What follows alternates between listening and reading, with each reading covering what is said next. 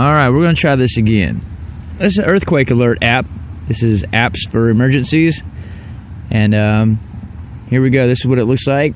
This is the big green one on the left up there with the heartbeat or the shockwave alert. There's a little bit about the app. The earthquake data is from the USGS, which is United States Geological Service.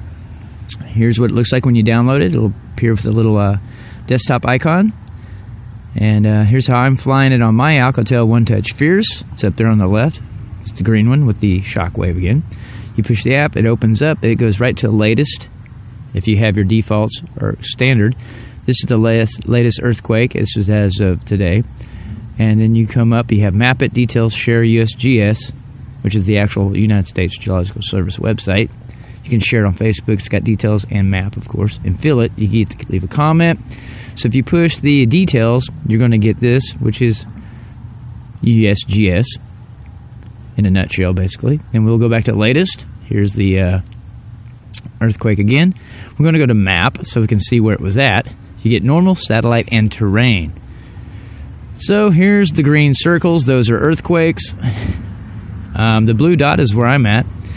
That was the normal map. This is the satellite map. I call this one the terrain map, actually, because, well, it's terrain.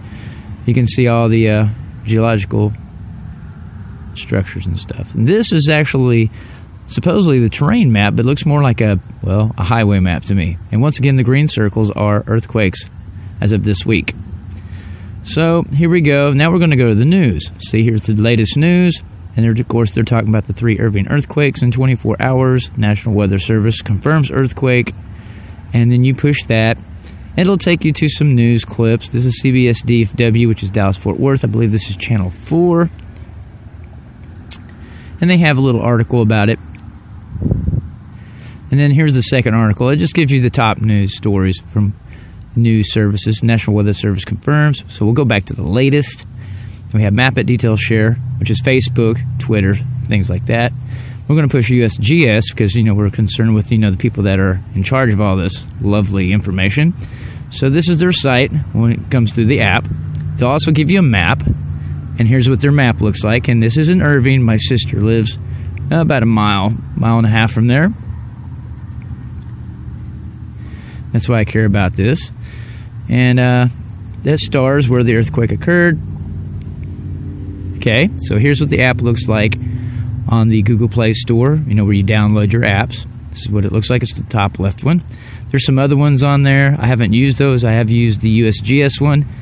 And because that earthquake alert one that we're using uh, actually goes to USGS, I use that one. So let's talk about the maps a little bit. We have normal, satellite, and terrain. Okay, we also have other kinds of settings. So we have settings, map type, toggle clustering, and fault lines. And I don't really use these too much. Clustering just lets you know how many was in the area. So that's like, you know, in Oklahoma, that would be really good for using for clustering if there's more than one earthquake.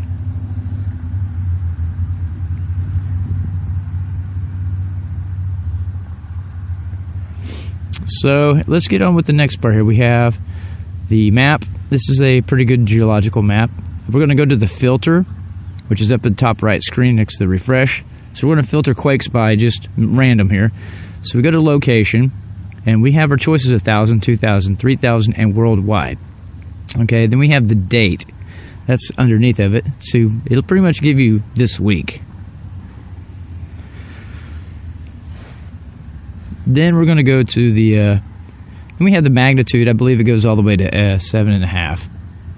So anything greater than that, you'll know. You'll probably feel it all the way around the world if it was greater than that. So once again, here's what it looks like on my desktop. Here's what I usually fly. Here's what it looks like latest when you open up the app. This is what how I fly my map. This is how I have my settings. The green circles are earthquakes of this week. And we have the news. So this is how the app works, how I got it set up on my phone. Um, so we're going to go to filter once again. And GPS does work, I believe. So here's the overview of the filter. Um, so let's go back to uh, what it looks like on your desktop. Now we're going to go and do the default settings. So you're going to push earthquake alert up there on the top left corner. And then you're going to get this little window. It's got about frequently asked questions.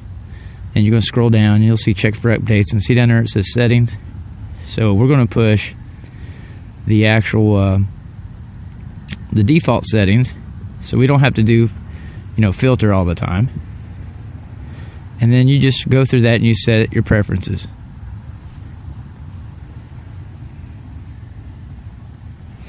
But uh, yeah, here's pretty much what it looks like. Here's a little bit about earthquake alert, some more, and uh, yeah, I hope y'all guys got something out of that. And uh, well, don't get all shook up, okay? So this is Glenn Munro. I'll see y'all later.